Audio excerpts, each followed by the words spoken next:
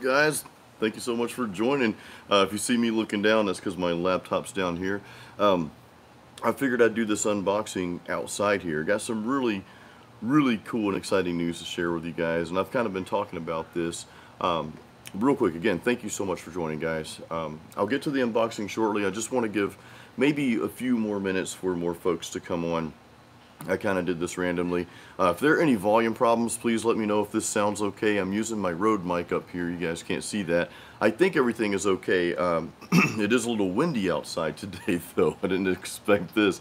So if a gust of wind comes by and blows everything over, well, yeah, that wouldn't be cool. I don't think that's going to happen, though.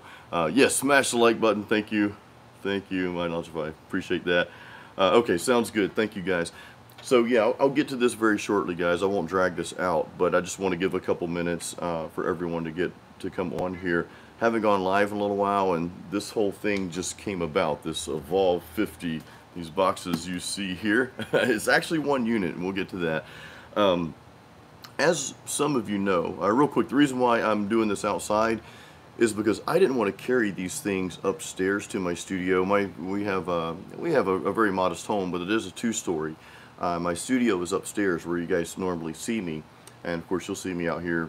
There's something about the patio and acoustic just like fits together. The only thing I'm missing is a beer, but I'm not having any beers tonight.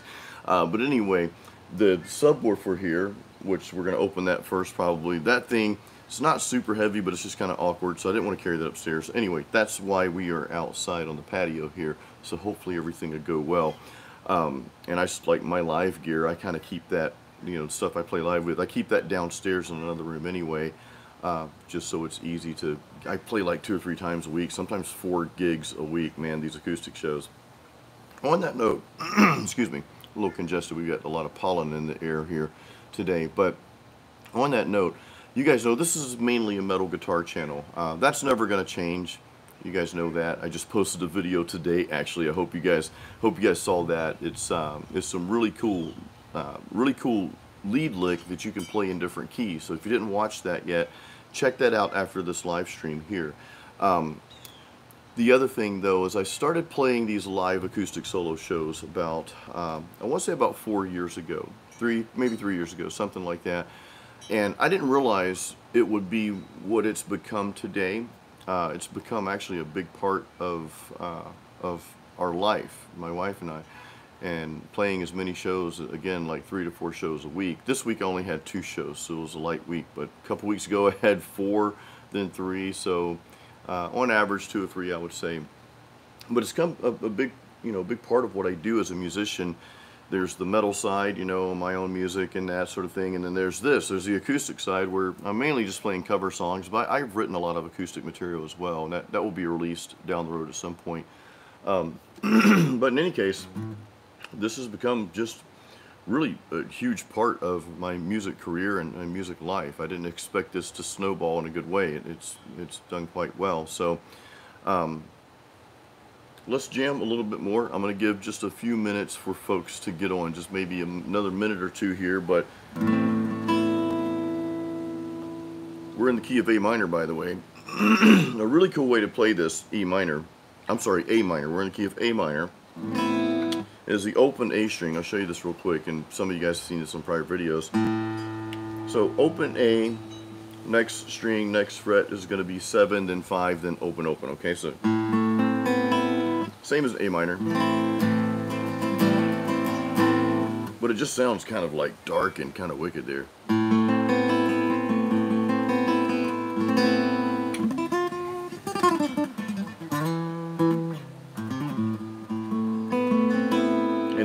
That pinky finger around.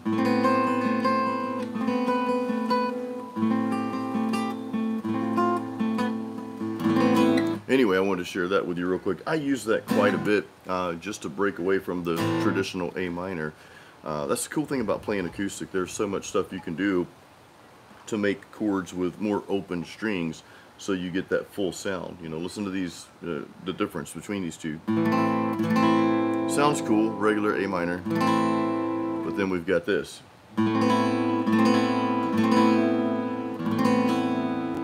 Then I might go to an F power chord. sometimes I'll pull my first finger off of that last string, that E string. Listen to this.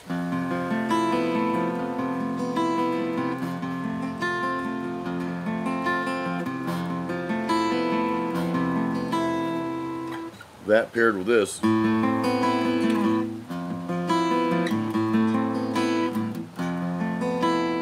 just sounds really wicked. Kind of, uh, it's got that 80s, like really dark 80s metal vibe to it there.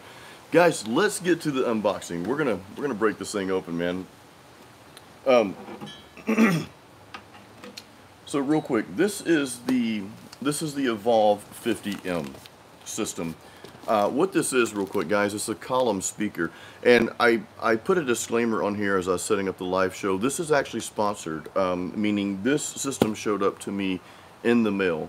I'll talk more about that um, after we unbox. I'm actually going to attempt to plug this thing in. I'm hoping we can get all this done in one live session here, but let's at least get the unboxing. So uh, the column system is basically a subwoofer and you've got a column speaker that stands up. What this is going to do for me, guys, is it's going to eliminate me having to use the two big speakers and speaker stands and floor monitor and all the power cables and cables that go with all that. Uh, that takes a while to set up. And I'm certainly not complaining about that, um, but when you do this night after night, it's like, oh, okay, there's got to be an easier way, and that's where these column systems come in. One power cable, and you just plug your stuff into it. So anyway, let's. Uh, this is the column part. This came in two boxes. Uh, so I want to say a huge thank you to Electro Voice. Thank you guys so much, uh, especially especially Eric who works there. Uh, he helped me. He helped this whole thing happen and, and just really pushed it through. So again, I'll, I'll, share more about that at the end of the video. Um, or towards the end after we do the unboxing. So let's first get this thing unboxed here. This is the, uh, do a little deadlift here for you guys so you guys can see that. This is thinking outside the box, right? So let's unbox this thing first. Sorry for the camera angle. I've only got one camera angle, but I'll get this out in no time. We're on the cutting edge. Sorry, I'm full of puns tonight. Um, I'm just very honored though that you know I, have had a I've had some smaller brand deals over the years, but this this is by far the biggest deal that I've had, guys. So I'm very I'm extremely humbled, extremely honored. Um, so we got the power cable. Oh, that was just a styrofoam. All right, we got the power cable. Let's get that out. Put that right here off to the side. And sorry for the excess noise. We do have a manual here. You guys know we don't read manuals in this business, but I am going to hold on to this because sometimes I get hung up on things. All right. Styrofoam. Put this over here.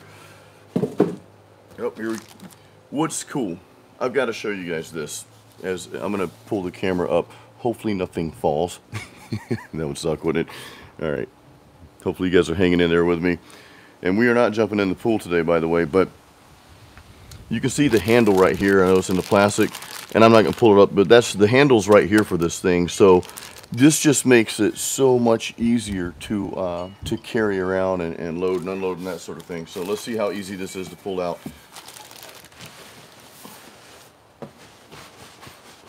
Now it's tucked away with a styrofoam here, so All right, we'll throw the styrofoam over here. Make sure nothing else is in the box.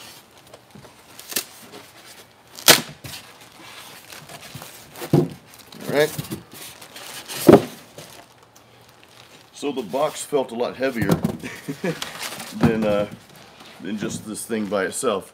So this is a sub. I'm going to pull um, I'm going to pull the plastic off here. I'm going to point this down, guys, so we can see this a little bit better here. I think this should just probably slide off, but let's see. This is a true unboxing. I did not fake any of this. This is, uh, I left it all packaged up for you guys. I like to give you guys the real deal here. All right. So we've got it out. And here it is. This is sub. Okay. Cool. And back here, and I don't know how well you guys can see this, but on the back back here, what's really cool about this unit, and I'm not doing a review yet, guys. I'm I've got several videos coming up for this thing uh, because in talking to Eric at Electro Voice at EV, um, you know, I, I was giving him all these ideas that I had for videos because, you know, this channel is about content. It's about helping you guys, and there's just so many things I'm going to be covering, and plus I play out again anywhere from two to four times a week. So anyway, I wanted to show you a few things here. A lot of these types of systems, okay, including like the Bose system, they only come with uh, with two inputs, and that was a problem for me. Uh, you had to buy an extra board to go with that. Now I have another soundboard, uh, and I'll you know I'll, I'll still use that from time to time, but this system comes with all these inputs one two three four five six inputs here.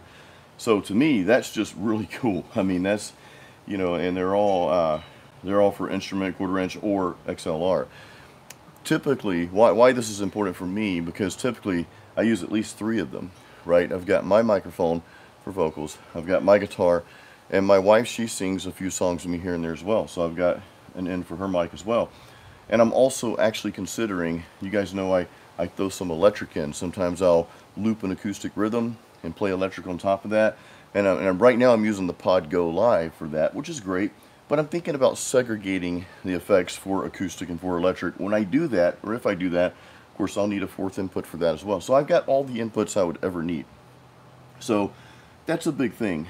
Um, and you've got all kind of stuff here. You know, you can you can daisy chain these together.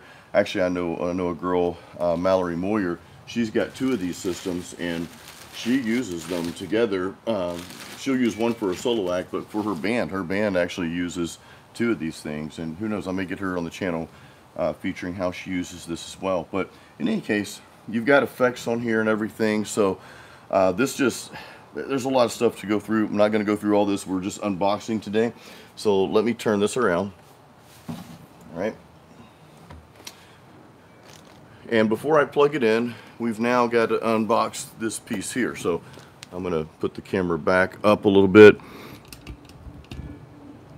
like that because I plan on plugging my acoustic in on this live session here. So guys, uh, just want to see if there's any questions in the comments.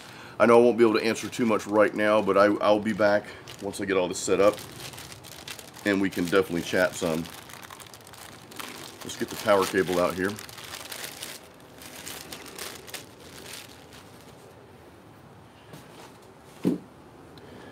and I'm gonna put the styrofoam in this big box because again it's windy out here so some of this stuff might blow in the pool not a big deal but hey all right so I'm not gonna power this up quite yet guys. Um, I'm gonna I'm gonna unbox this thing first. And I think we'll be I think we'll be playing acoustic through this thing really really soon guys. Like I'd say within the next five, seven minutes maybe, something like that.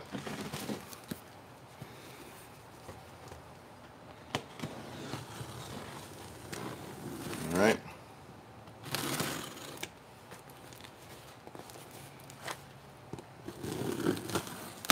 This blade's kind of dull.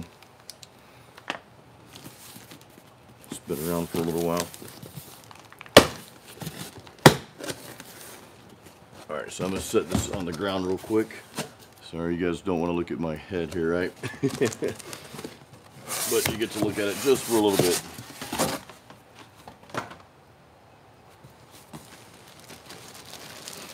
Okay, so already an extremely cool thing. So this thing comes in a bag. Uh, this is helpful, you know, so already I know I've got some protection here uh, for the system. That's really awesome. This thing is super light, by the way. And this is the column speaker. We're about to break this open here. Yeah, this this is really cool. I'm already thinking about how much time this is going to save me at my live shows. Not having to set up what feels like for a whole band. Again, I'm just a solo act. My wife sings sometimes with me, and and uh, but man, this is just going to save me so much time at the gigs. I tell people, I joke with people, I don't get paid to play live music. That's the fun part. I get paid to set up and tear down, and then the drive time and everything goes with it. Not complaining because it's a really, it's a really cool thing to do. You know. Hey, who doesn't want to make money playing music, right? I do this stuff for a living, guys. So, uh, by the way, I've got I've got a complete tutorial out there. Um, complete tutorial out there on how to get started playing live solo gigs. If you guys haven't seen that, search for that on my channel after this video. Paul, what's up from Nottingham? Good job, says, can I bring my electric guitar? I am going to play the electric guitar through this thing. Probably not tonight, guys, to be honest with you. Um, I'm gonna I'm gonna plug the acoustic in for a little bit, but I probably won't play the electric tonight. But that will be coming up. Okay, I will have a video, and you guys know I bring the electric too.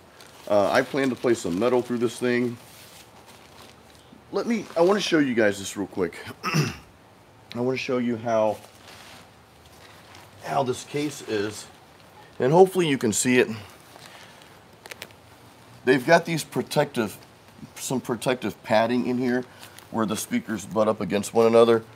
So that, I just think that's a genius idea. Um, it's the little things like that that go a long way, you know, when it comes to protecting your gear.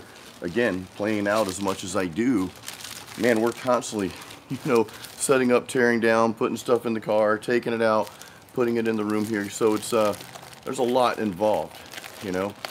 So little things like the extra padding that this case provides that came with, you know, little things like that, they to me they matter. They matter big time. So that's cool to see that. It's cool to see when things are, are well thought out like that, guys. All right, here we go. So I believe this is the top portion. Okay, yeah. So you can see that, that's, that's the array speaker there, okay? There's one more piece to this though, let me grab that.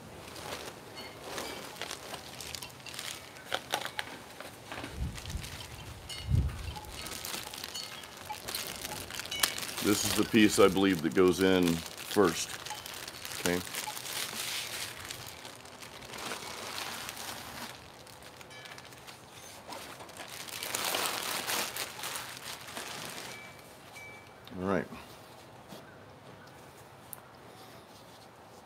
So this is just the pole and I can see here that it doesn't matter which side goes into what. There's a little magnet here though and all this does guys, I'll show you this real quick. It just fits down in the, that part right there just like that. That's it. Really, really cool. And then after that, we've got this piece here that goes on top.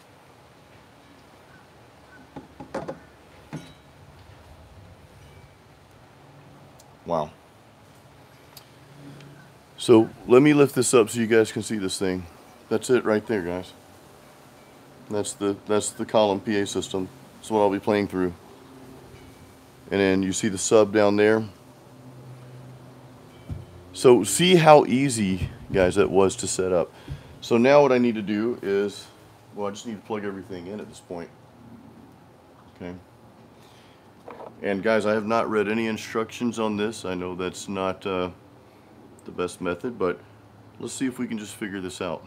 We've gotten this far. I'm to plug in.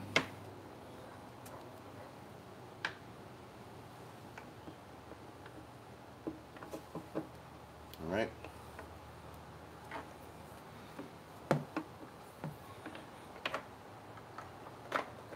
I mean, I, I, literally put that together in just a matter, probably less than a minute, maybe two minutes, right?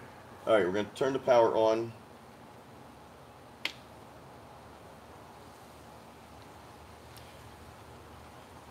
And it's on. And guys, what I'm gonna do, let's see, I think this comes, I think everything just comes on automatically here. I don't think there's any additional wires. In other words, I've got the speaker set up. Uh, I've got it plugged in here. Hold on one second. I'm going to turn some lighting on so it's not so dark. There we go. I don't know if you guys can tell the difference with my light on or not, but let's see. Gospel Mark, what's up, man? Craig's here. Awesome. Tina, Tina's on too. Awesome. Hello, Tina. Tina's our good. I, I shouldn't say friend. She's really Tina's really family. You know, we, my wife has uh, known her for a very long time, and we've hung out quite a bit over the years.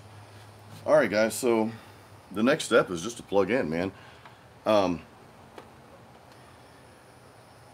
uh, Craig, you, Craig is asking why do you need a subwoofer when you're not playing bass or drums? Um, the subwoofer really just gives you some more bottom end uh, with the acoustic and all that. And I've actually played through one of these before, and I'll tell you that story once we get plugged in here. So, man, I'm nervous to do this. I don't know why. I shouldn't be nervous at all.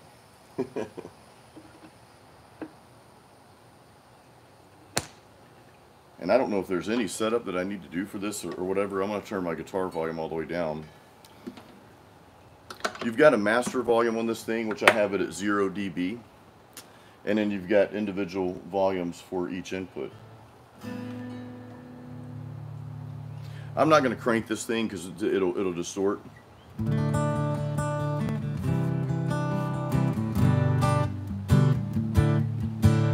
Can you guys hear that okay? Hmm? My wife's saying it sounds good and she's in the living room there.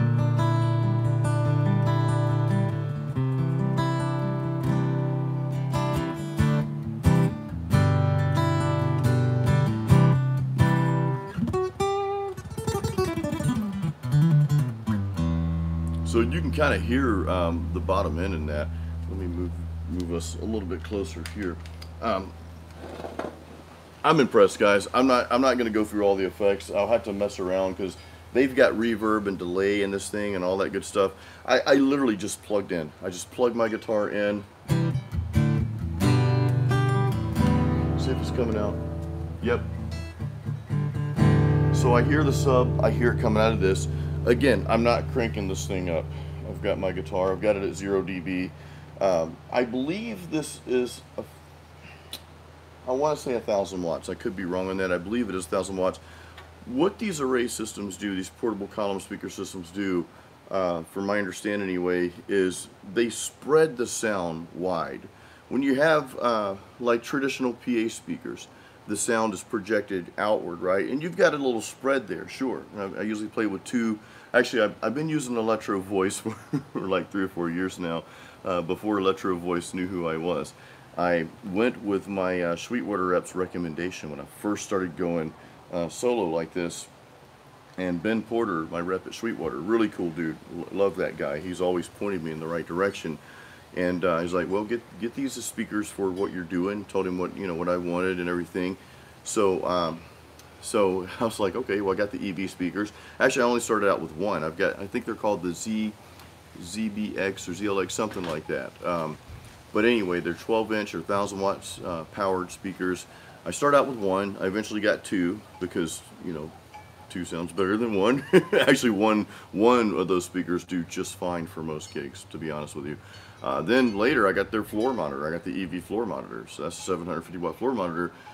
The beauty of these speakers, um, these column systems here, I'm replacing all of that with this thing now. Uh, the beauty is you don't really need a monitor with these things. If you guys saw me playing at the State Fair, I've got a video out here. Um, I got a video out here that uh, I think I put that out about two months ago, maybe a little less than that, where I played at the Florida State Fair. They had the EV, I think it was an older model, an original, uh, one of the, maybe not original, but an older model of the EV Evolve system. Uh, I plugged in through that and I'm like, this thing is cool. I played an entire show. I played, uh, I was there for six hours. I played hour on, you know, hour off. That's kind of how they do things at fairs and theme parks and such. But uh, I played, you know, three full hour sets with that and I'm I was just blown away I'm like I don't need a monitor this thing sounds great I even recorded it just on my phone as if you were out in the audience. So you guys can catch that video on my channel. And, um, and I guess we'll get to this part, how this came about, because I just got this in the mail, like literally today, just a couple hours ago. Um, I, I was so happy with that system. I'd been kind of like going back and forth, like I wanted a column system, but what do I want? Like, like what, what am I going to get? You know, uh, there's a lot of brands out there and that sort of thing, but uh, playing through this, I'm like, okay, it was a no-brainer. I'm like, let me reach out to Electro Voice because I've got a, quite a bit of content now. I'm playing live solo gigs on tips and that sort of thing, and I just went over some things that you know that I could offer, some videos that I could do, some ideas that I had that would promote this their, their brand in the system. Because again, I've been using Electro Voice already for like you know three or four years now. Uh, so it, all led to this in short. So I'm, I'm very Electro Voice, especially Eric and everyone involved. I'm, I'm so grateful for you guys uh, for sending me this. This is going to change so much, and it's just going to save me so much time and extra, you know, just the hassle of just having to lug a bunch of gear around. Now I've got like just this, so I'm very grateful for that, guys. And I wanted to say this while we're talking. We're not ending quite yet. We got some more riffs to play, and of course, I want to answer some of your questions and chat with you guys a bit. Um, when you're going for something whether it's a job promotion or a job, whether uh, maybe you're trying to get a brand deal or something like that. Maybe you have a YouTube channel, right? And, and, and it's thriving and that sort of thing. Always go into something where you're giving an extreme amount of value. The, the value you can give, the, what you're going to do, and how that's going to benefit the other party. That's always going to be the best way to go about things, guys. You know, so start with that never have the attitude of, well, what's in it for me? Let me see what I can get, right? Don't don't go with that attitude, guys. I'm, I'm telling you this, you know, just from experience over the years. Always give the value. If you give value, and just like I do my best to do on this channel, and, it, and it's growing, there are a lot of great things that happen because I, I do my best to give you guys value. I think of that first. How can I help you guys? How can I help everybody watching this? So go with what you can give the benefits you can present someone. And guys, everything else will really, it literally will fall into place for you, okay? So let's jam on this a little bit. Man, I feel the bottom end just sitting here, and I'm not talking about my bottom end, I'm talking about, you know, the speaker here, but I just, it's so nice, you know?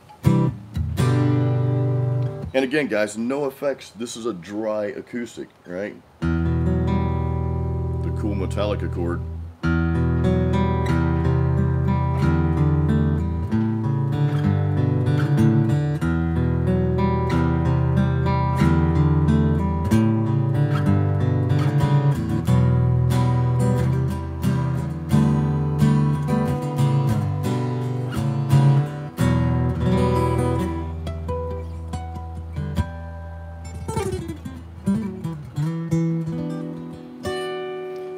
That song, Sanitarium, that I was just playing, that was like my extreme favorite song from Metallica back when I started listening to them. This is back in 88, 89 when I bought Justice and Puppets. And I was just mesmerized and that was just so haunting, just that, you know.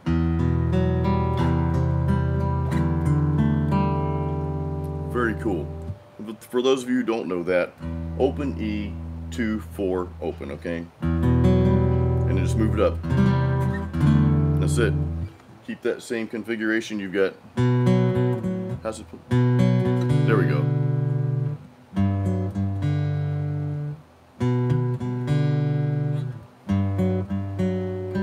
And I forgot how to play it already. But anyway, Metallica uses that, uh, you know, those those A and D strings, two and four.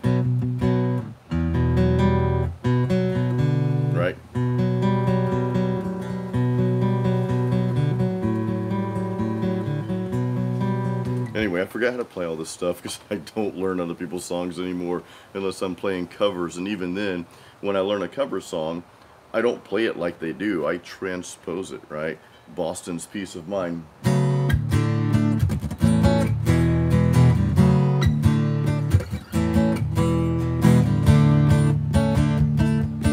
Help those stuff like that in, you know?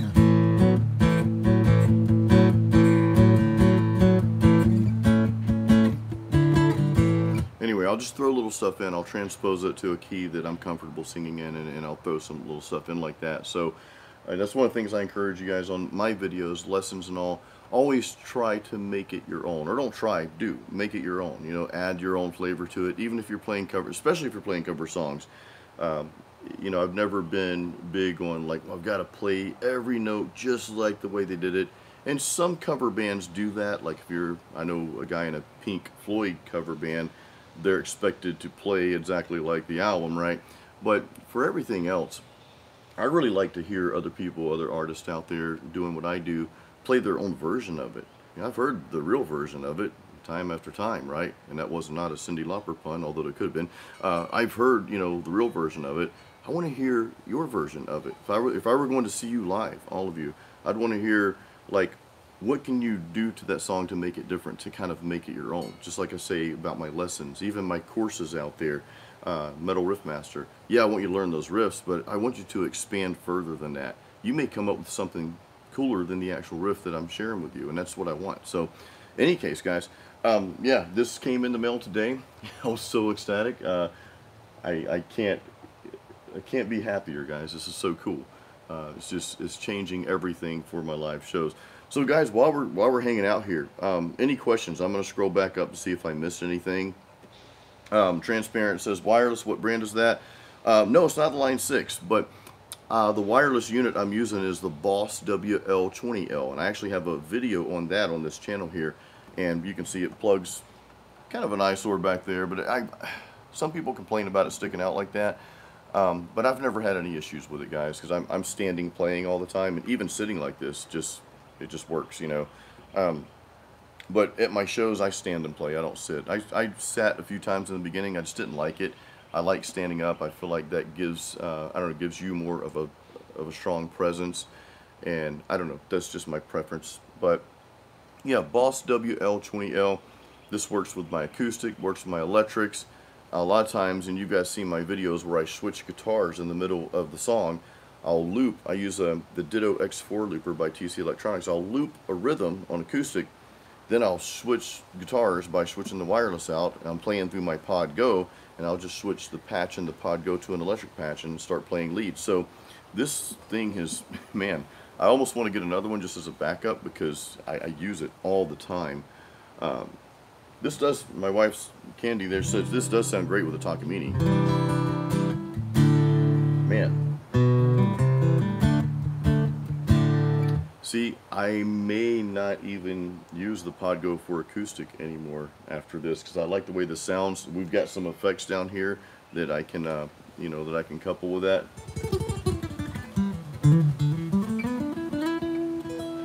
Sounds really good though.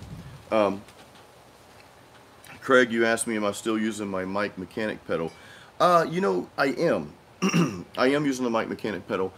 Uh, the mic mechanic, and I've got a video on that. Actually, that's been my that's been one of my top videos now. I mean, this is a metal guitar channel primarily, right? But my mic mechanic pedal, it's a vocal pedal uh, by TC Helicon. That's gotten a lot of uh, attention. But it's a great vocal pedal, and what it acts is basically a compressor.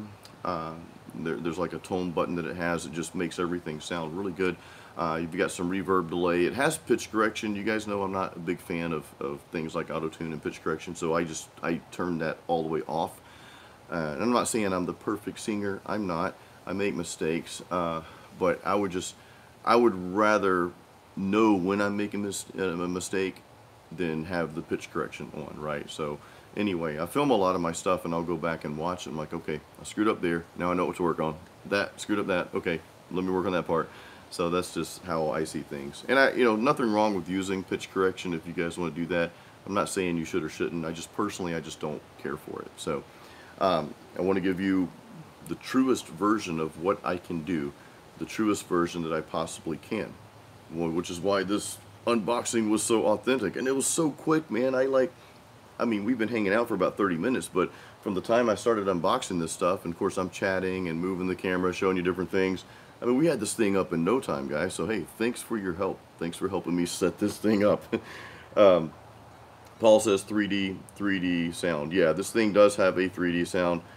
Um, Craig says you should start using backing tracks, good ones from good. I, dude, I'm, for me, not for everybody else, for me, I am absolutely anti backing track because then it just sounds like karaoke. And people aren't paying me to go perform with karaoke tracks. They're paying to hear an acoustic set. You know what I mean? So I look at it that way. I'm not. I don't put that on anyone else, guys. I've heard other people, a few other people play with backing tracks. Uh, I, am just personally not a fan of it. I, it's I, it's a turnoff for me. Now, the caveat to that is, let's say you're a solo guitarist, because I have used my own backing tracks before. Um, I played my own music in a couple of gigs a few years ago. So what I did was I went into the studio, in my studio where I recorded those tracks, I muted the vocals and the lead guitar parts so that when I played along the vocals were just me and my leads were live. So I still really wasn't a big fan of, of doing that. It's just so much better with a full band. But uh, for my for my acoustic shows, I absolutely refuse backing tracks. I won't do it. I just don't. Again, I don't want to put that on you guys. That's you know. Um, so I just don't really I just don't really care for that. Um, but I, Craig, I understand what you're saying. And again, I've done that. I you know I, I just dumped down the the drums and the bass in one rhythm track, and I played along with that. Um, and I've done that for some shows when I'm playing my own music because you guys know I, I play metal, I write metal. That's all my albums are metal. It'd be impossible for me to pull that off on just one acoustic guitar. Um, so for things like that, yeah, that's fine. But for doing these these live acoustic shows where I'm playing cover songs and that sort of thing, I won't use backing tracks. Um, you know, uh, Sean, what do I do for a living? I do this, man. I, I'm a full-time musician. I left my corporate job. I had a really good corporate job, guys. I, uh, I talked about it. I, how many? I don't know how many saw the podcast. I was on I was on the Drinking with Drew show last night on his channel. Uh, his YouTube channel was called uh, The Drinking with Drew Show. He's a good friend of mine. I met him through a mutual friend that I worked with at, at the company I worked for for almost 14 years. And um, you know we're, we're talking a bit about that uh, talking about you know when I left my job just I, I just didn't want to do it anymore guys. I, I, have always wanted to be a full-time musician. I'm 47 now so if I do the math right I was 44 when I left my gig my, my day job. Um, I didn't want to be 80 90 years old looking back on life thinking what would have happened if I had taken that chance right I didn't want to have that regret so now I don't have to have that regret I I made the leap but yeah I am a uh, I am a full-time musician, man. I, I, I make a, most of my living off of my guitar courses. Off if you go to metalmastermind.com, most of you guys have my course uh, or one of my courses. So that my music, of course, is out there. My albums make a little bit of revenue. YouTube, YouTube has not only allowed me to make a little bit of revenue from from the ads, but you know, tremendous amount of opportunities like this would have never come about had it not been for my YouTube channel because I was able to show Electro Voice that hey, I've got some content out there on this topic. Um, and I'll, I'll, tell you something, when I talked to Eric at Electro Voice, you know, he was saying a lot of DJs use these type of systems. He's like, but we really want more like acoustic artists and, and, and small acts, you know, solos and duos and that sort of thing, showcasing this stuff. So uh, I think that's why they were so quick to jump on what I'm doing here. So I, I really uh, will do my best to give the absolute best representation of this product because I, am just plugged into it now, and I love it, you know. A little bit of puppets.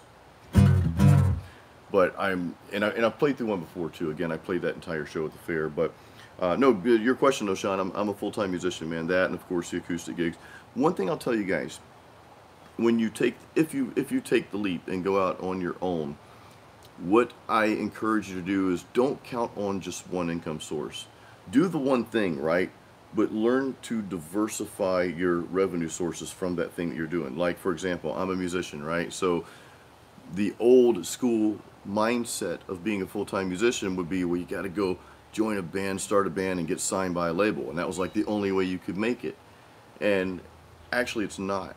You know, with the internet, there's so many other opportunities. You know, I have, uh, and it's not like I'm a gazillionaire. I'm not, not anywhere near whatever a gazillion is, right? But I diversified the streams of income. I didn't just rely on my music. If I were, if I just relied on my four albums and the fifth album I'm working on right now, which I hope to have done soon, I promise I'm working on that. There's another. Well, I don't want to say too much about what's coming up, but anyway, I'll share that later. But Uh, if I just relied on the income from my albums, what I make off Spotify and iTunes, I'd be broke. okay, I'd be very broke.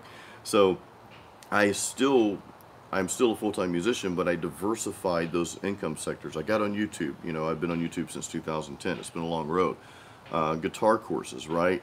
You can have a Patreon. I have a Patreon. You know, you can you can have a website. I even blog, guys. Even my website, jasonstallworth.com, uh, and I blog for MetalMastermind.com for our course site. You know, you can you can blog, you can write articles, and, and you can get revenue off of that. You know, YouTube again, YouTube.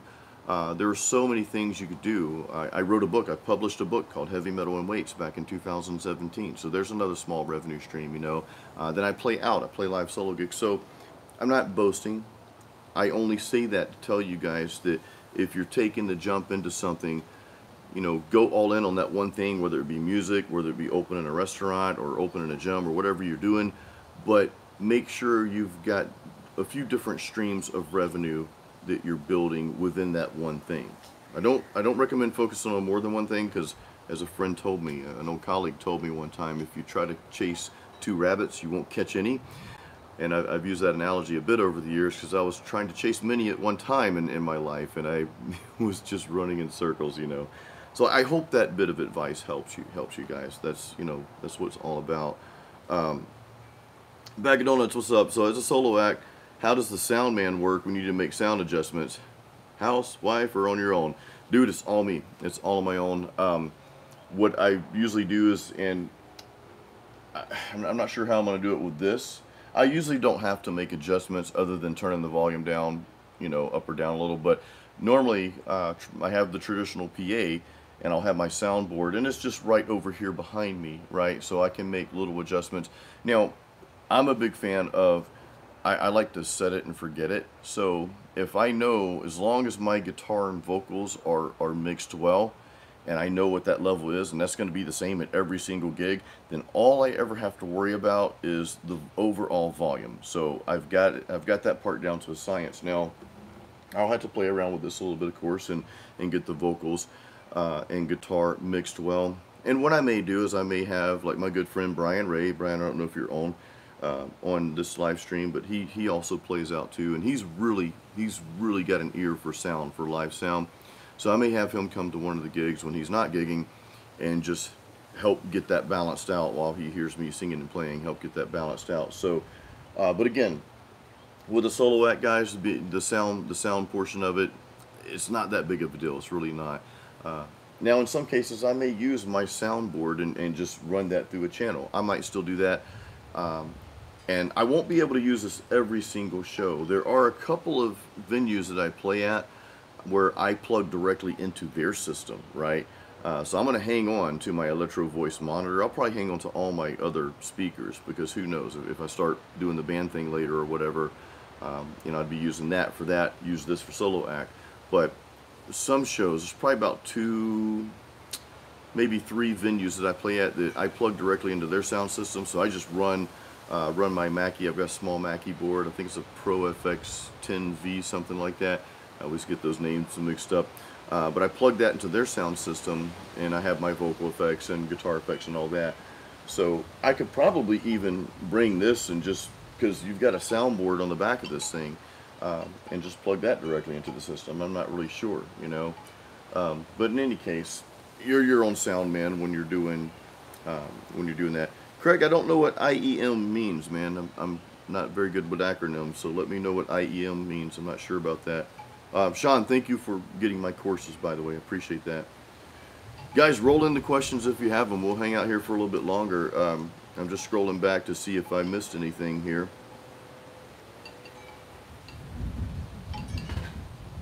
ADD hobbyist, you were on, or hopefully, hopefully you're still on, but you mentioned local open mic uses the 30. Okay, yeah, there's another version of this, EV30. I was more interested in the 50 because there are some pretty big stages that I play on uh, specifically the two wineries that I play at, Keel and Curley Winery in Plant City here. I play at another winery called Fiorelli Winery, that's in Bradenton. Uh, and they both have pretty big stages. Uh, Keel and Curley especially because it's a huge winery. So I've seen other folks play, you know, other artists play there uh, as I do with just one of these systems, and it sounds great.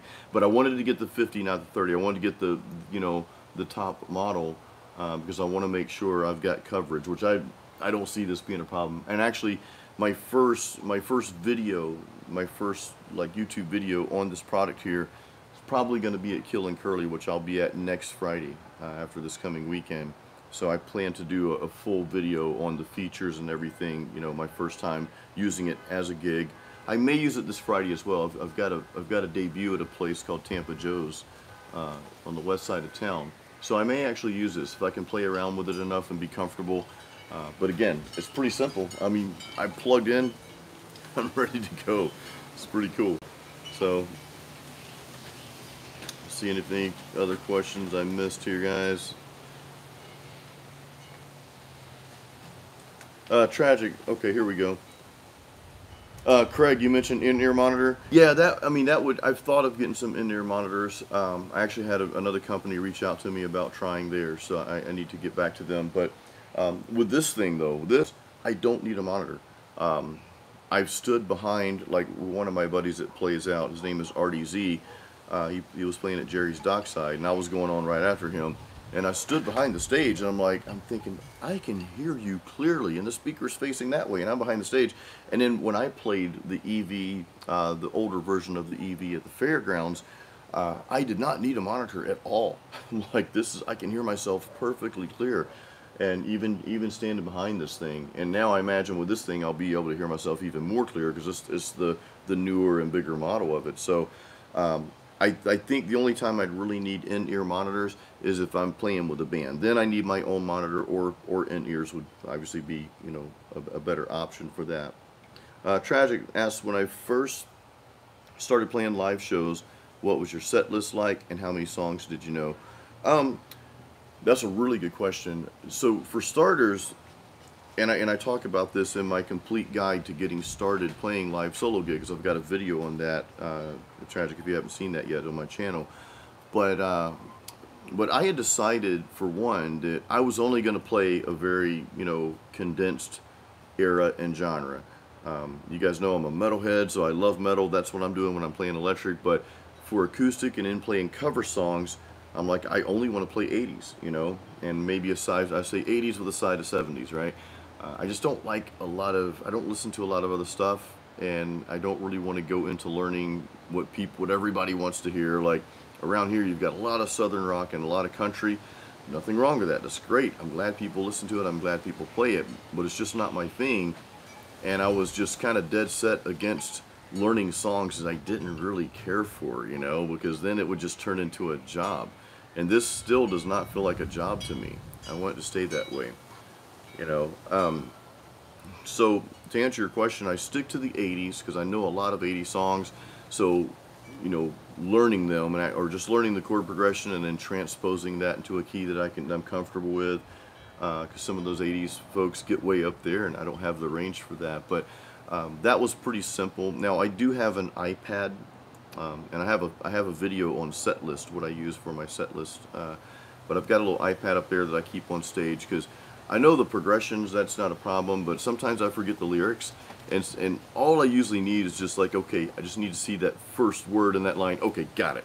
Uh, so I have that kind of as my, my uh, security blankie on stage, you know, because I don't, I don't, I mean, yeah, you can, you can pull it off and make something up, and I've done that before, and make it fun. That's, that's cool, but it, it allows me to focus more on the performance. If I had to look down and just see the, the first, how the second verse starts, you know, that first word, okay, got it. And I can get my head back into performing rather than having to, you know, look down. So I, I've got the iPad. Actually, I, I went through a four hour show last weekend without the iPad. And that was my first time playing without the iPad.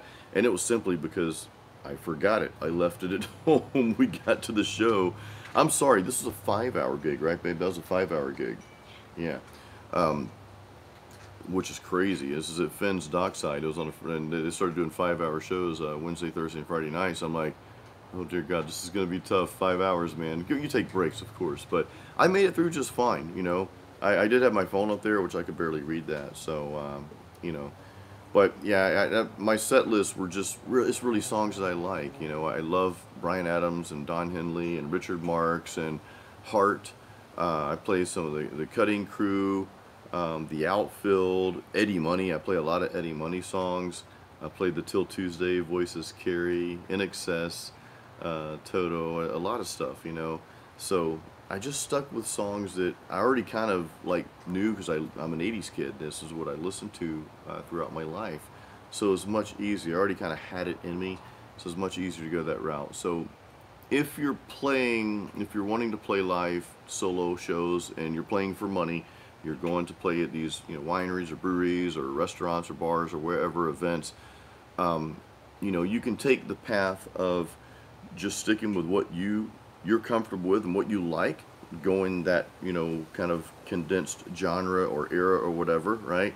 Because I, I play 80s, I don't just play rock, I play some pop songs too. Hey, I played Taylor Dayne's Tell It To My Heart. I break that out, people are like, what? I've never heard anybody play that before, you know?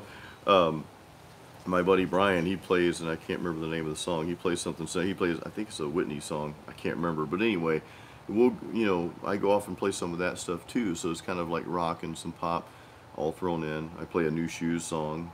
I can't wait.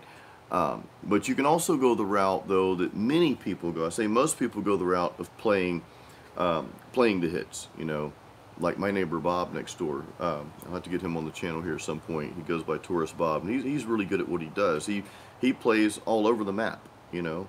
So he just plays. Uh, he sticks with the hits, you know, and it could be it could be from 40 years ago. It can be today. So a lot of people do that, and that works really well. Uh, I just chose a little bit different path. So.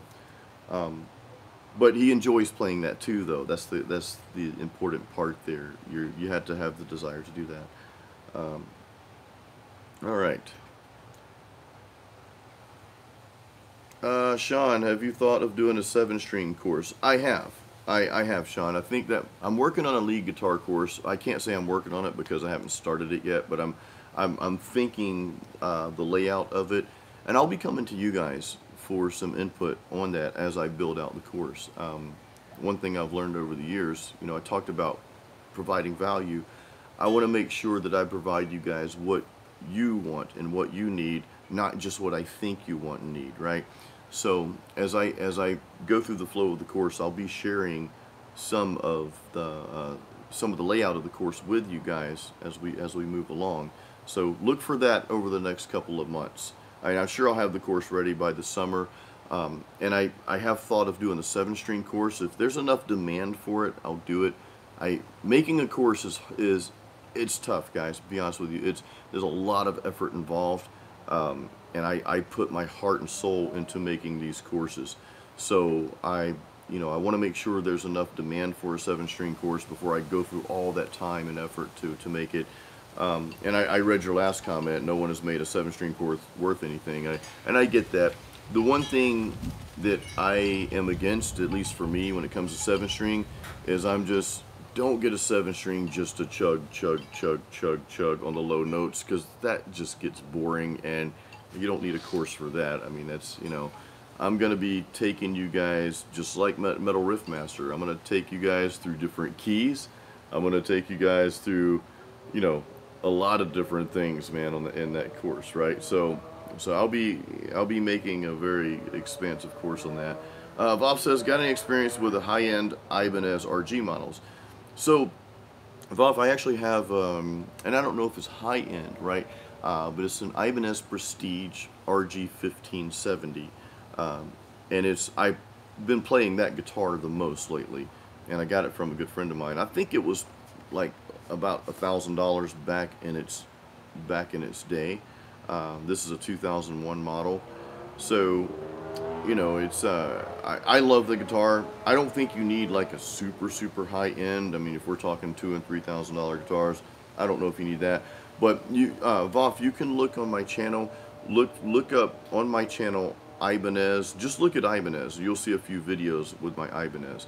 Um, I've got a complete rundown of the RG 1570, the Prestige.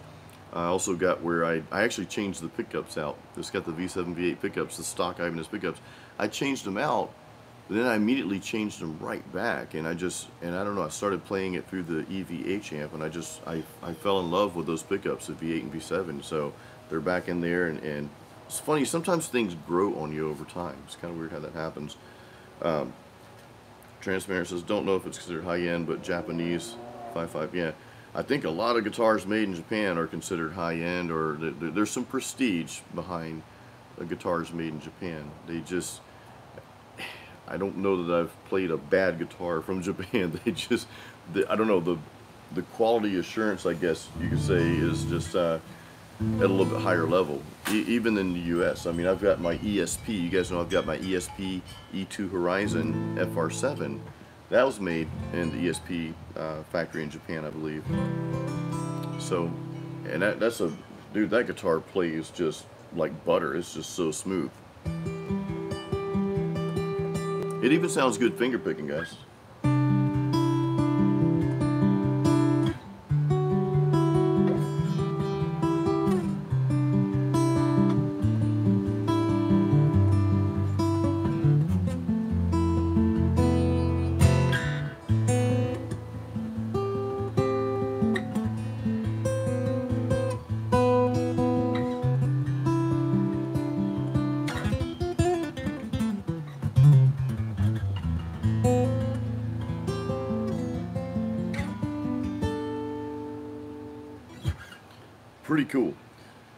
So guys, um, any other questions out there? I know we're talking about Ibanez's now.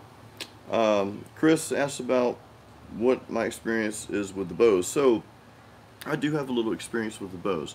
Uh, I've got a video on this on my channel too. Um, I think it was earlier this year or last year. I can't remember. I think it was earlier this year. I went out to Sarasota. I live in the Tampa area. I went out to Sarasota and I just jammed uh, with with a friend of mine, uh, Andres Collin. He's a Spanish guitarist. I've got a video on my channel. Spanish guitarist plays with metal guitarist or something like that. You can you can see it on my channel. And we actually played through his Bose. I, I came out there with him and I played through his Bose L1 system. So I played through that. Um, and two other friends of mine that play out on a regular basis have them. So I, I've, I've played through one, uh, one at an open mic one time played through that one. I didn't play through RDZ's Bose, but I heard it, and it, sound, it sounded wonderful. It sounded really good. So, um, I can't say which one I like best because again, I haven't I haven't played through those. There's Mama Cat behind me. Hey, Mom. Um, I haven't I haven't really played extensively through a lot of the systems, but you know, I, I didn't dislike them or anything like that. It wasn't, you know, it's really hard to tell unless you're out there in the audience. But um, I do know the experience I had with uh, with the electro voice playing at the fairgrounds because I played you know three full sets with that. I was pretty blown away which is why I reached out to the company. Um, I was just blown away by it. I'm like this thing because it, it, just everything felt good and sounded good. Uh, I got a video out there. Look up look up my video playing. I played at the state fair. I can't remember the actual title but uh, it's something about the state fair Florida State Fair. So look that up and check that out and you'll hear you'll hear an older version of this. And we were just filming that with with the iPhone. Um, and I've got my iPhone filming this right now. You know, I'm using the Rode NTG video mic because it picks up voice a little bit better and kind of blocks out the other, the wind noise. I don't know if you guys can hear the wind out here. Uh, but anyway, yeah, I'm loving this, man. So I can't wait to play a show with it. I, I'm probably going to mess around some more with this uh, tonight or tomorrow. And uh, I've got a gig. Again, I've got a debut at Tampa Joe's this Friday. I may bring it out to that as well because I plan on, this is going to be my main piece of gear right here. I'm not lugging around the big speakers, the speaker stands, the monitor, all the power cables, the one, two, three power cables. There's three outlets I need. Uh, you know, I've got the power strips and all that. And then I've got, I've got to have cables running to each one of those. So it's like, okay, this is solving all of that. This is like condensing all of that work into just a very simple setup. So my 30 minute setup, I usually I can be set up in about 20 minutes because you still have the mic stands and you still have my guitar effects, my vocal effects, but I, I may even just use the vocal effects in here, you know. Um, so I'm gonna, I'm gonna be learning more about the system. I do need to read uh, the manual just so I can go through and see how to work the effects and all that stuff. So I'm really excited about that.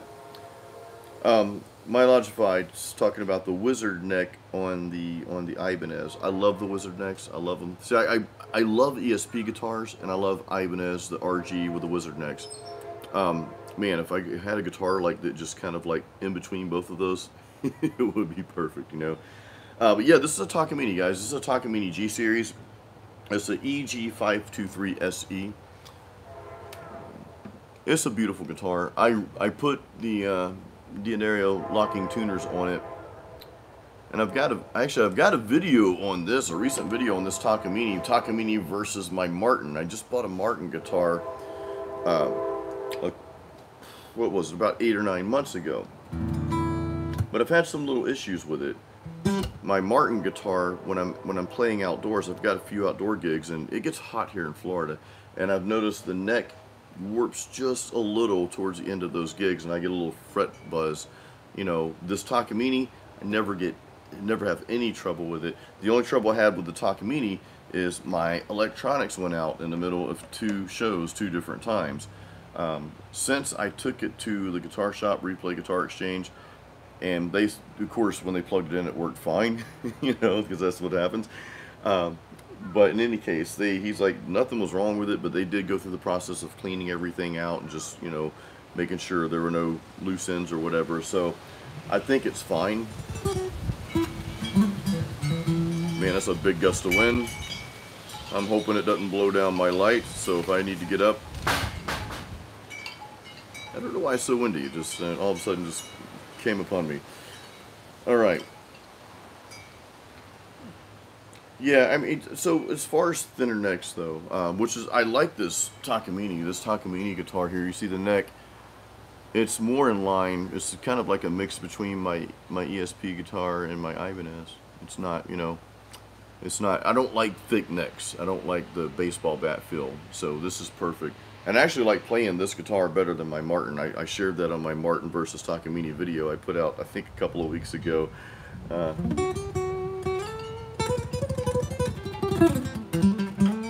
those notes are so pronounced.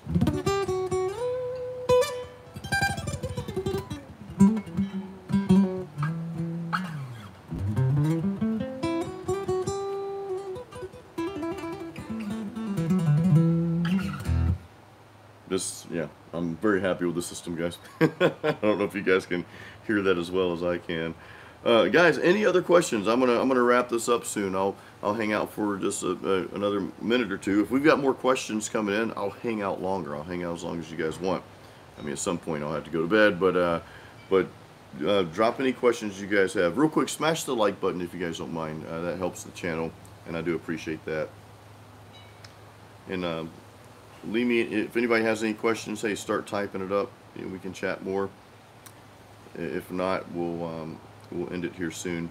But I want to give another big thank you to the folks at Electro Voice, guys. Thank you so much for this thing. This thing is just, uh, I, I mean, you guys saw how quickly I just popped this thing together, plugged it in, boom, we're on. I mean, that was just, that was just crazy, right? Uh, I'm still blown away by the simplicity because again, I'm used to setting up a speaker stand, setting up this speaker stand, putting the speaker on top, powering it up, running a cable to the board times two, then having to do my monitor, same thing with that. And it doesn't sound like a lot, but when you're when you're having to go to different parts of the stage and, and get the cables out, it just, uh, you know, and then setting this up, yeah, transparent, five minutes. And it took me five minutes because I was talking in between and trying to show you guys things. I, I could whip this thing out, pop it together in less than a minute, and turn power on. Boom, we're, we're it's crazy, man it's, it's crazy um, how far technology has come. And this thing sounds, again, I've, I've played through the older version and that sounded phenomenal. Now I've got this version. I can only, I can't wait to get this on this stage this weekend and especially, especially next Friday. And I'll have videos coming out. I have a lot of videos on this on how to use it for different applications because um, I play on some, some pretty, you know, decent sized stages that I'll have this on. And there'll be some smaller areas I'll be playing in as well. So it'll be really interesting to see uh, how this does in both settings, right? Uh, and plus outdoors versus indoors, that sort of thing. So, um, and we'll talk about like placement and that sort of thing. So we, we got a lot of experiences coming with this Evolve 50M here, guys. Okay, so um, do I amp model when I uh, favorite song I've written. You know, I, I really like the song called Masterpiece off my Masterpiece album, my latest album. That's that's probably one of my favorite songs um, that I've that I've written. It's, it's Masterpiece is spelled master than P E A C E like like Peacekeeper, right? But the Masterpiece album, the title track Masterpiece, I believe is track four. That's my favorite song ever written because it, it's a story. Um, I'm trying to think of another song. There's there's a song off my very first album that I like a lot called The Healing, and it's, it's that that album's more kind of like Satriani meets Metallica style. That's off Apocalyptic Dreams. Um, do I amp model when I play? So uh, when I play live, guys, I'm using, I think most of you have seen this on the videos, I, I'm using a Line 6 Pod Go and I have, you know, I just plug my wireless into that, and I've got patches set up for my acoustic rhythm, acoustic lead, because I loop, you know, I use a looper, the Ditto X4. I've got videos on all this stuff, guys. Just punch it in and on my YouTube channel. You'll see them pop up and how, how to loop and all that stuff. Uh, but I, um, I've got an acoustic rhythm, acoustic lead, and I've got patches for my electric. So I use that. The electric, I'm, I'm using like their Marshall amp sim in there. And it is for playing on top of acoustic rhythm. Again, I'll loop the rhythm on acoustic. I'll play something. Boom, I'll click it and that'll play because I'll loop it. The loop will record that. Uh, and I'll, I'll switch the wireless, pull this out, plug in my wireless to my uh, to the telly what I usually take to the light these types of shows and I'll switch the patch to an electric patch on the Pod Go and I'm soloing over that and that seems to work really really well um, playing live metal which I hope to start doing again very very soon guys. I really hope to start. Uh, I want to put together a band um, but I also would like to I'd like to have some musicians play my music live. So with this new album that I'm working on I'm planning on doing a few shows um, and I'm, I'm hoping to reach out to uh, my friend Ed Aborn. I'm hoping he'll sit in with me and, and, play a few shows with me, and I just need a bass player, maybe a rhythm guitar player too. So I'm, hope, I'm hoping to do something like that.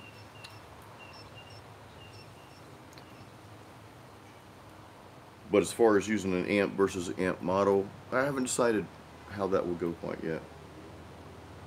Uh, Sonya, what do I think about Ovations? I, I can't remember how they sounded when I played them. It's been years, probably decades. But I, I didn't like the oval back because when you're sitting down, they kind of roll off. I'm like, wait, I can't, you know. I mean, playing live, I stand up anyway. But um, I, I, honestly don't remember enough about the time I played. Uh, Chris, have ever thought of doing any gigs out of state in Georgia, say in Georgia?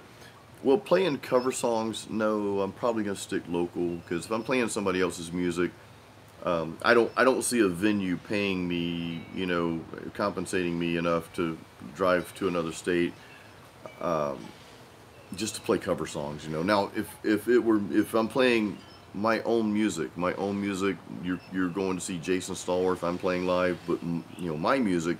Okay, that's a different story. Yeah, I'll, you know, again, it has to make sense. You know what I mean? Uh, it has to make sense. But with the acoustic shows. Um, I mean, I've driven, we've driven as far as Bradenton, which is about an hour from here. Uh, and, and of course, play at Sea, I play at SeaWorld sometimes in Orlando. With traffic, that's an hour and a half. It really should be an hour, but the interstate going there is just crazy. Uh, major upgrades on. Sean, thank you, thank you. Um, I, I pre appreciate the thoughts there, man. Thank you. Uh, Scott, have I ever thought about an AB switch so you don't have to move the wireless to the electric?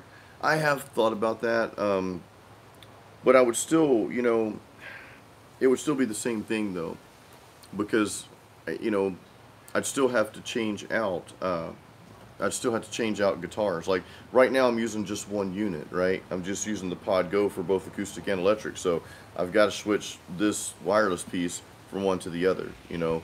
Now, what I'm considering doing is having a separate unit for acoustic. I'll continue using the Pod Go for my electric, but I may just plug the acoustic into this thing, right? Into the looper and then go into this and have a wireless for both. And that way I can just pick up the other guitar and start playing. Um, so, major upgrade, which, wire, which wireless do I have? So I the Boss WL20L this thing right here has lasted me for a long, long time. So, uh, man, I've been using it forever, like three years now, and it's, it's never given me any problems. I just charge it after every show, and I've never had it run down. I had I played a five-hour gig, and actually there's other there are other gigs like the state fair. I was there and had this thing plugged in for over six hours, seven hours, because you play some and then you you're off some, play some, you're off some, and when I play at SeaWorld, that's you know that's five or six hours that I'm there total, and it's plugged in. Never never had any issues with it. Uh, major upgrade. I actually don't have the Pod Go wireless. No. Uh, when I bought the Pod Go, um, I just got the regular Pod Go. I didn't, I, would already had the wireless, so I already had this thing here. Um, I kind of wish I would have bought the wireless version because I, you know, I could have. I don't know that that might would have just saved me as a backup, um, or I could just use that for the electric and have this wireless for acoustic and use something else, you know. But uh, I, I didn't get the one with the wireless in it. Uh, Scott, any issues? Humidity. Yeah, I mean, well, rarely am I in and out of air conditioning with the guitars. I'm either playing inside somewhere and we're, and we're there, or I'm playing outdoors. So uh, my wife bought us a big fan for the stage. It's a stage fan. It's kind of made for, you know, stuff like this. I mean, I, that helps a little. I mean, helps me stay a little bit because I, I feel some wind movement, so it's good for me. I don't know how much it helps the humidity factor with the guitars, though. Um, I've never had any issues though with this particular this Takamine guitar when it comes to um, you know when it comes to humidity. The neck still still stays the same. This thing stays in tune like crazy, man. I rarely have to tune this thing up. I you know just a little bit before each show. I might have to tune it again if it's like super humid or if I'm playing a real long show. I might have to tweak it a little bit. But uh, my Martin, unfortunately, goes out of tune quite a bit. So I, I think I just need to get it adjusted.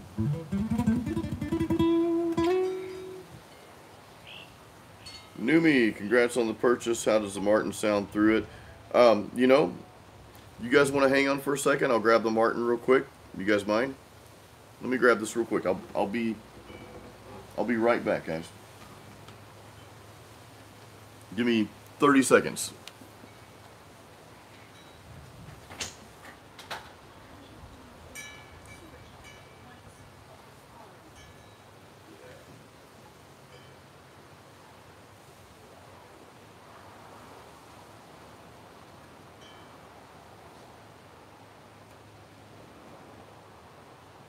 Alright guys, I'm coming. Hey, there we go. Okay. The Martin. so let's see how this thing sounds, guys. Yeah, I, I didn't even think about bringing this out. Um, first of all, let me see if this thing's in tune. Like I said, this thing, it tends to, tends to go out of tune on me. Yeah, it's a little sharp now.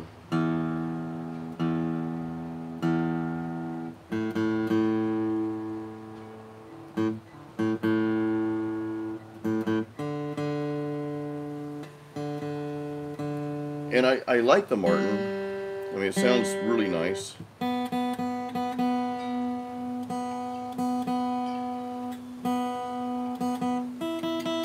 Alright, good enough. Um, let's take this out. Just plug it into the Martin, guys. Here we go. Again, there's no effects on here at all.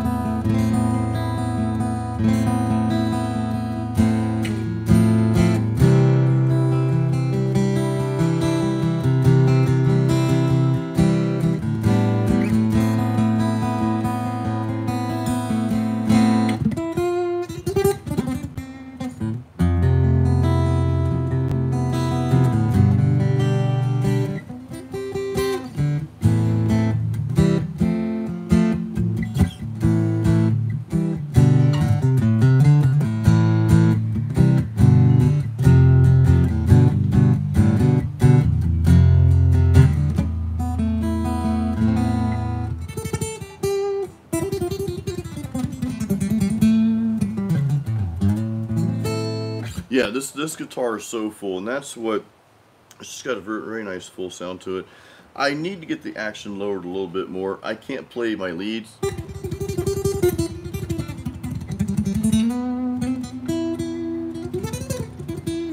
And it, you may not be able to tell, I'm not quite as accurate on my leads uh, with the fretting as the Takamine is. The Takamine just like, I can, I can actually shred on my Takamine. And here... I, I, I feel like that's a little sloppy.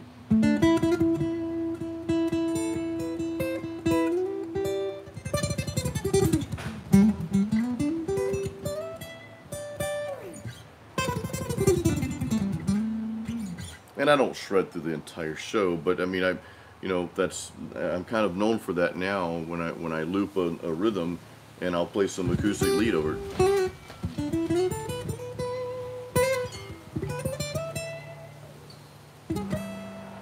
But um, in any case, so yeah, I like switching back and forth. I, I bring both guitars to most shows that I go to just as a backup. Uh, that's a hard lesson I've learned over my uh, over my time of um, of playing live shows. Always have a backup, and even if it's just an electric guitar, because I bring my Telecaster as well. And the one time my Takamine just crapped out, well, I didn't have another acoustic, but I had my Telly, so I, I played Telly and just sang through the rest of the show, man. Um, you know, that's what I did.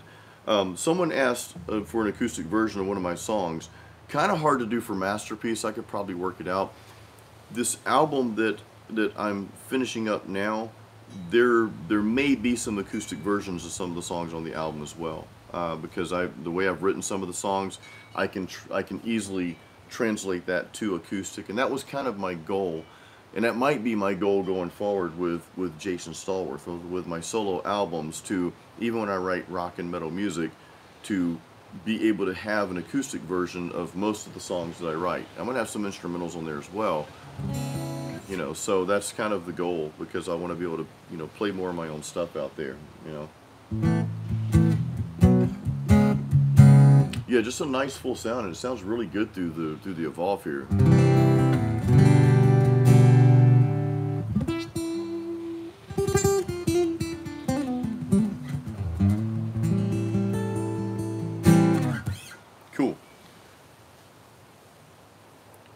Nomi says it uh, sounds great. Bought the same exact model about a month ago. Still dialing it in. Sounds a bit tinny when you plug it in direct. Um, yeah, no, this is the Martin. Uh, this is the Martin Road series, the GPC 13E. Um, I've never had any problems with with it not having that full bottom into it. But again, you know, it, my Takamine just plays a little bit better, and so that's just a matter of just getting this set up again. It, it, I'm going actually going to Replay Guitar Exchange tomorrow in Tampa to film. So I'll be, you know, guys, I film some content there about once a month. They're, they're gracious enough to allow me to come into the store, um, you know, before they open. And, and, and, I know some of the guys that work there and all, good friends with them. And, but I, again, it all goes back to giving value. I pump out videos that are getting views and it are, it are bringing people to their store. They, they, may, they make quite a few guitar sales from my videos, which is great because uh, it allows me to go in there and film content that I, I don't have access to all this stuff, you know, without going there. So it's, it's a really great win-win situation.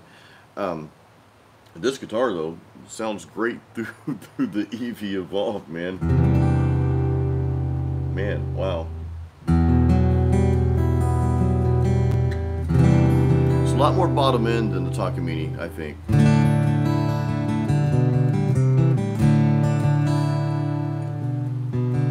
Major upgrade, I'd love some pancakes. Yeah, I could do some of those as well.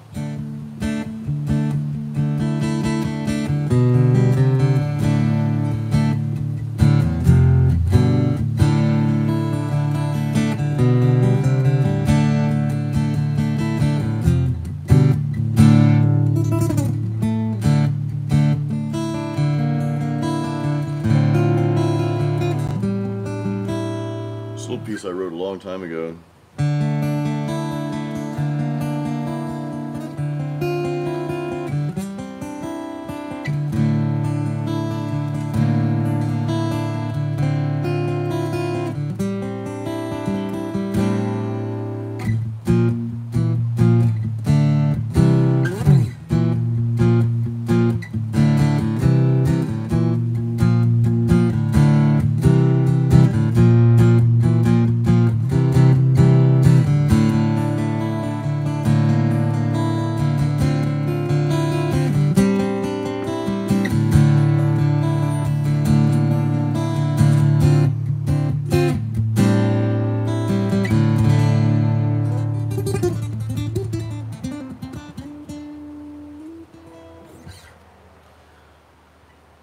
So Sonia, hear a lot of Spanish style riffs. Do I play flamenco or have nylon guitars? I it wasn't my nylon guitar, but I had one many many years ago.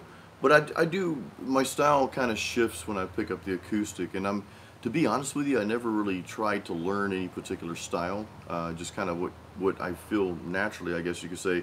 The only guitar lesson I ever had was learning how to play classical, just learning the finger techniques. Uh, so your thumb for the first three, and then these three fingers for, and that's honestly all I know, but I, I learned to, you know,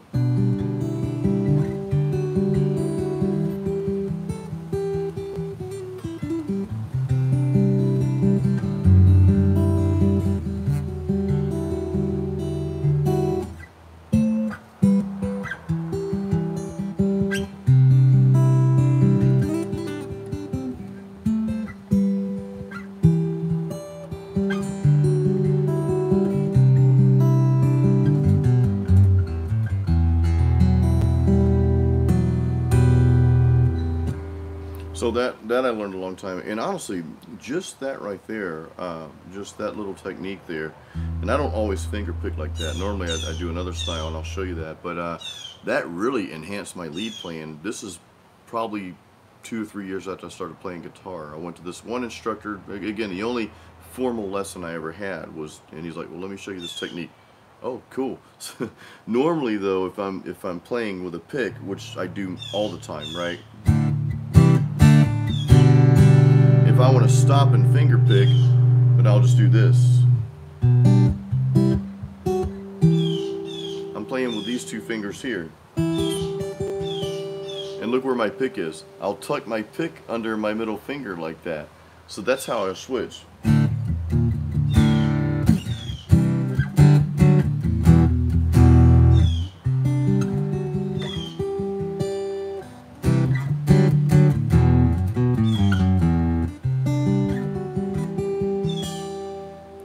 Switch.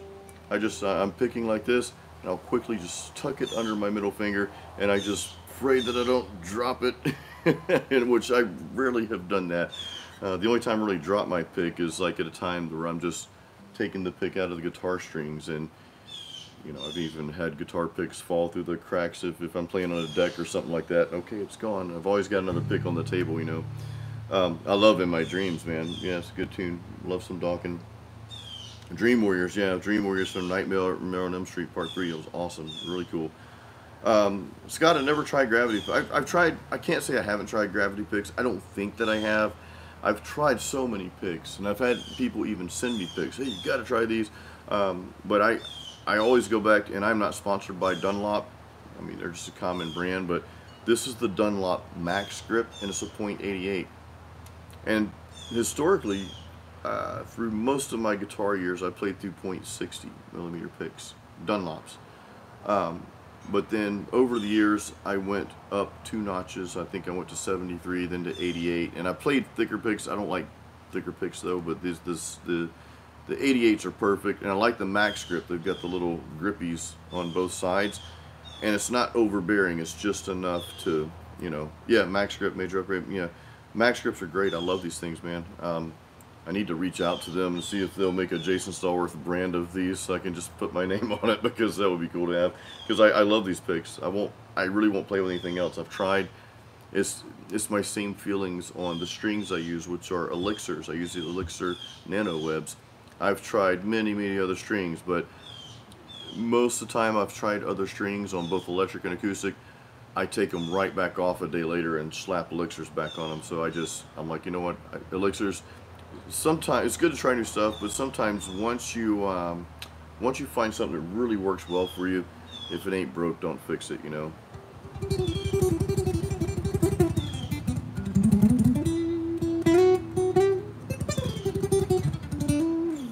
Yeah, I can see that tragic. You know, having having the thinner picks for electric and, and 88s. Um,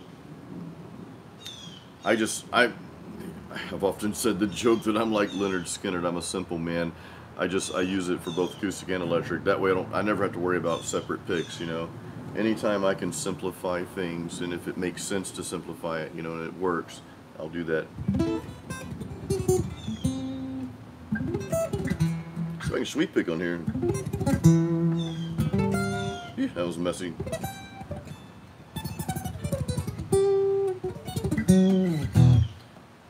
All right, so listen to this through the EV. So we got we got bottom end. Let's see. Let's compare real quick, just us guys, the Martin and the Takamine through the Electro Voice. And you guys can hear this pretty well, can't you? I, mean, I know you guys can hear the guitar, but but if I unplug this thing, oh, I didn't expect that sound. Now you can tell the difference. That's not plugged in, right?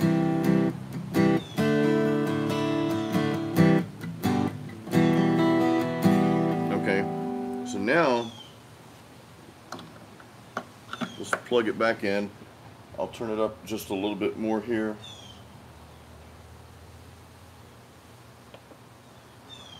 Let's go 3 dB on this.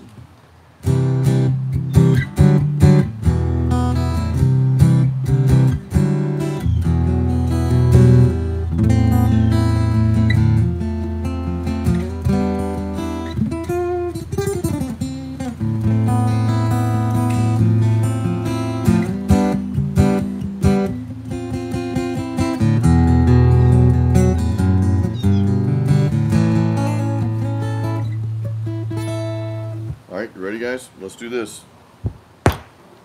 We are going with the, and you're supposed to kill your signal before pulling it out like that. I'm just being lazy. All right. It's Takamine time, guys. Let's compare. Make sure the volume's adequate.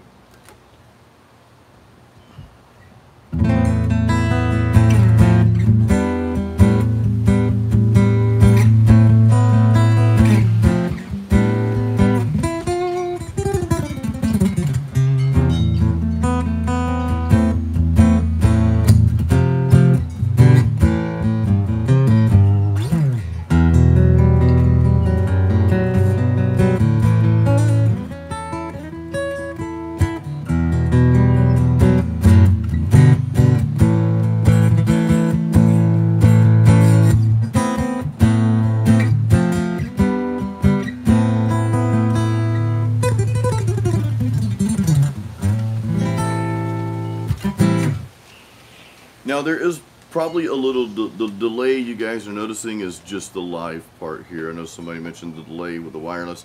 Um, actually, there's there's really uh, like li- in a live setting, but the live YouTube, you see me doing stuff, and sometimes there's a little slight delay, and I think that's just because of the streaming here. Um, oh, you're saying no noticeable delay from the wireless. Sorry. Okay, now now I understand. I, I misread that. Yeah, I know. It sounds great. This sounds this system sounds good with no effects. I mean, of course, I want to be putting some reverb and and delay. Uh, but let's see. Um, this guitar, I've got a sound hole cover, which is kind of needed for this thing. Let me see if the notch filter works on this.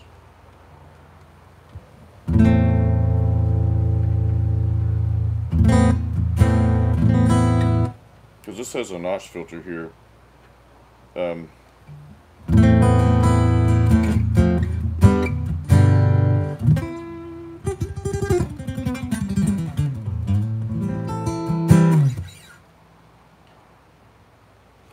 So you're saying Takamine has better mids? It's got you know had better mid def- definition. Yeah, the Martin the Martin does the Martin almost sounds like the And Justice for All album where they scoop the mids, right? I mean, I could EQ that, but um, it's got a, the Martin has um, it's got more low end to me. Like when I pick it up, I can feel the difference. Um, and I, I don't know if you guys saw my video, my, my Takamine versus Martin acoustic video. It's out there. I think I put it out a couple of weeks ago. So check that out after you watch this or, when, or whenever you get time. And you'll, you'll hear me compare it on stage uh, with instrumental, with vocals, and also with the electric guitar over the acoustic rhythm. So I, I made a really comprehensive comparison of the two. Um, this guitar feeds back a little bit. But again, I've got a sound hole cover for that. Um, Major Upgrade said, I don't know if you would like playing the full size jumbo. Yeah, I'll tell you what, man, this is, uh, this is a lot lighter. The Martin is a lot lighter than, uh, than the Takamine, for sure. Not a lot, but, um, this guitar though, it's, it's pretty comfortable. Standing up is, is really comfortable.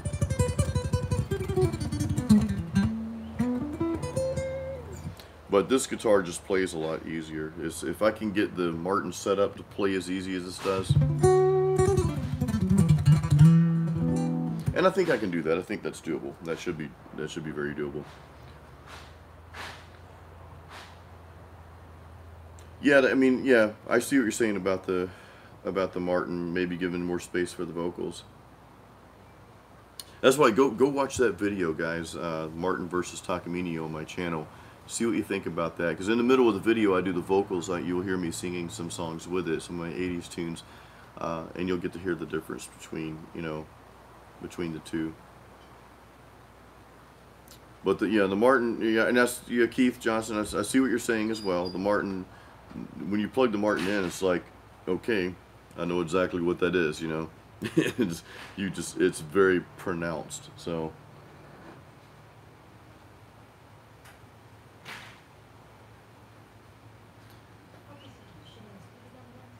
All right, guys. Any more questions out there before uh, before we wrap things up? Yeah, the lo the low end is desired on acoustics. I, I freely admit that. I've actually got now. I've got an EQ on this thing.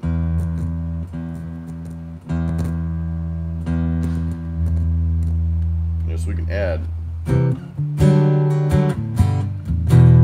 But there's nothing like the and that buzzing was just my EQ kind of. Uh, there's nothing there's nothing like the natural low end from a guitar as opposed to EQing it, right? It's just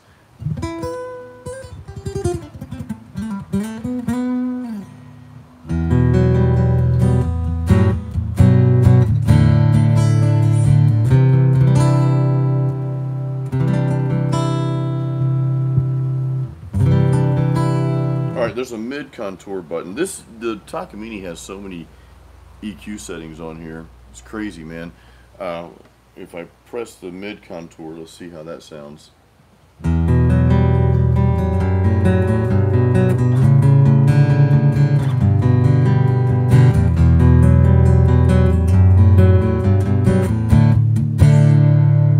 I think we might have just nailed it with the EQ here, guys.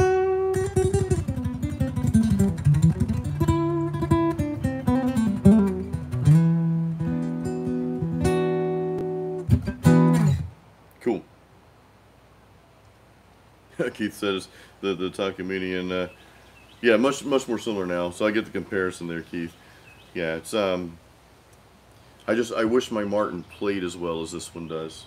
Again, I'm gonna try to get it set up and hopefully I can get it you know get it set up to the specs that I like. But yeah, check out the Martin versus Takamine video they have out there, guys. Guys, I am going to wrap things up. Um, I want to say thank you all so much uh, for being on here, for hanging out with me. Appreciate this. It was It's always cool to just hang out and chat with you guys. Uh, folks at Electro Voice, thank you again um, for for this awesome system here. This is the Evolve 50M. It's quite amazing just sitting right here. I mean, I can't wait to play it live. Expect quite a bit of content coming for this thing, especially a full rundown of my very first gig with it, which is going to be at Keel and Curley next Friday night. So probably another another two weeks I'll have a video out there uh, for you guys, and I'll have I'll have several more to come with the system here. So guys, thank you once again. I really appreciate all you guys uh, hanging out. Appreciate the support here on YouTube. As always, guys, keep it metal and keep playing music. Hope you guys have an awesome rest of the week, and I will see you soon.